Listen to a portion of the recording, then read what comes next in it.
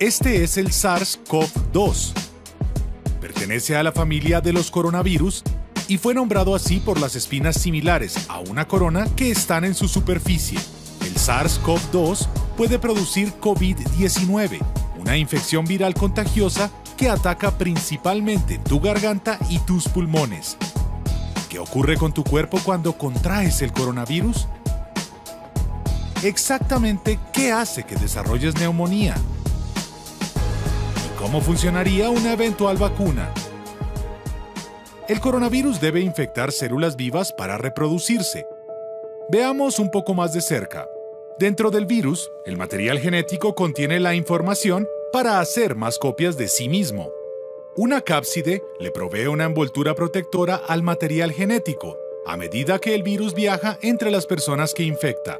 Una envoltura exterior le permite al virus infectar las células al unirse con la membrana externa de las mismas. Hay espinas de moléculas proteicas que se proyectan desde esta envoltura. Tanto el virus de la gripe común como el nuevo coronavirus usan estas espinas como una llave para entrar dentro de las células de tu cuerpo. Allí, el virus se apropia de la maquinaria interna de las células y las reprograma para que creen los componentes del nuevo virus. Cuando una persona contagiada habla, tose o estornuda, las gotículas que llevan el virus pueden llegar a tu boca o nariz y luego pasar a tus pulmones. Una vez está dentro de tu cuerpo, el virus entra en contacto con las células de tu garganta, nariz o pulmones.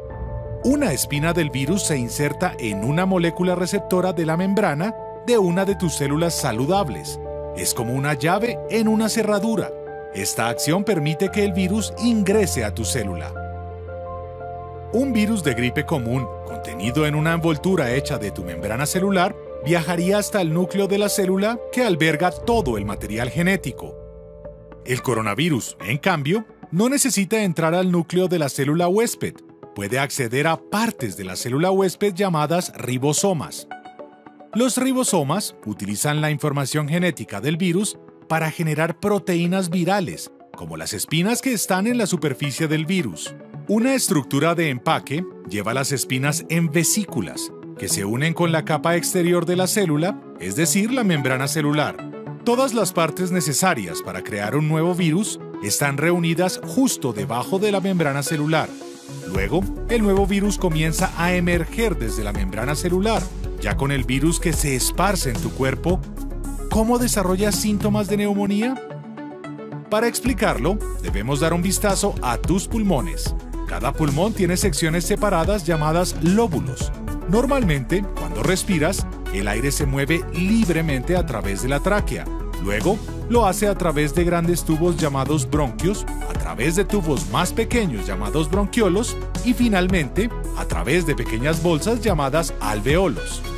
Tus vías respiratorias, así como los alveolos, son flexibles y elásticas. Cuando inhalas, cada bolsa de aire se infla como un pequeño globo y cuando exhalas, se desinfla. Pequeños vasos sanguíneos, llamados capilares, rodean el alveolo. El oxígeno del aire que respiras pasa a los capilares. Luego, el dióxido de carbono de tu cuerpo pasa de tus capilares a los alveolos, para que tus pulmones puedan liberarse de él cuando exhalas. Tus vías respiratorias capturan la mayor parte de los gérmenes en el moco que está en tu tráquea, bronquios y bronquiolos.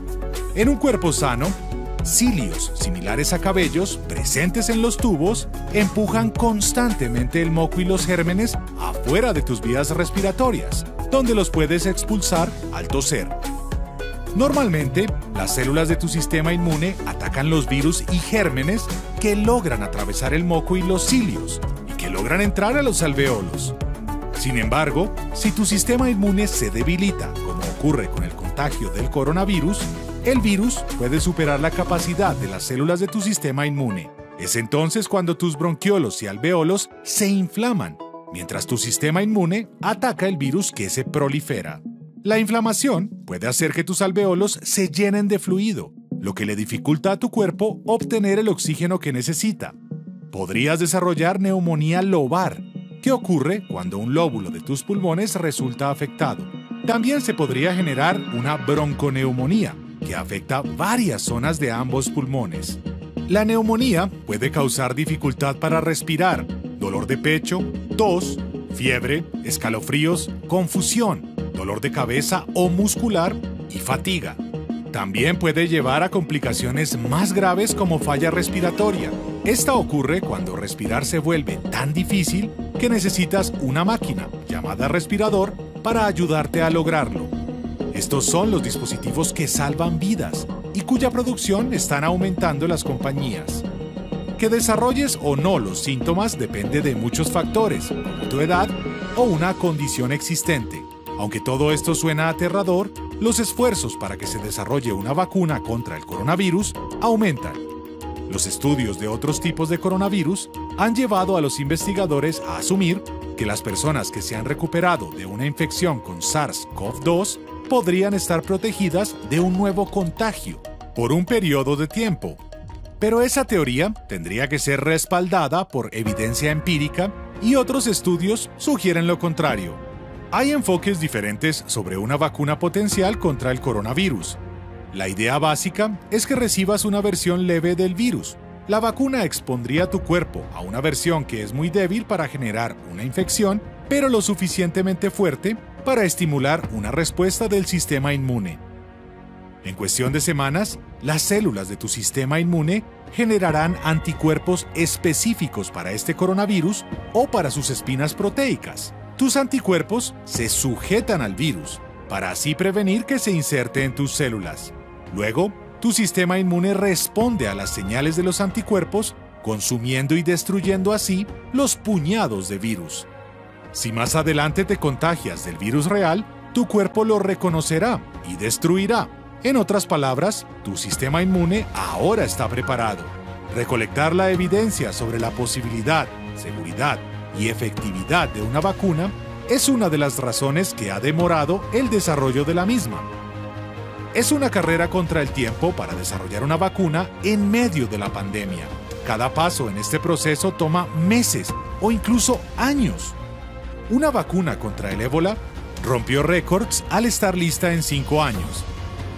La esperanza es que se pueda desarrollar una en un tiempo récord de 12 a 18 meses.